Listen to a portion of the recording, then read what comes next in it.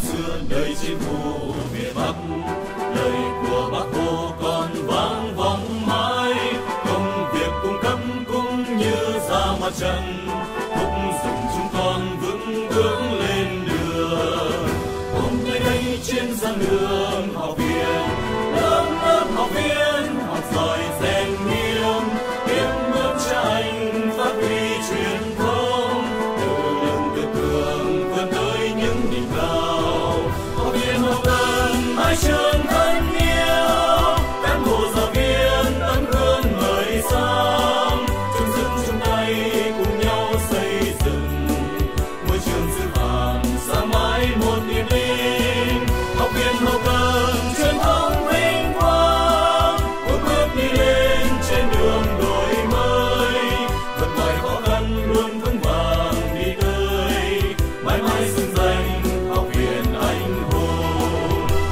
năm xưa nơi trên khu Việt Bắc.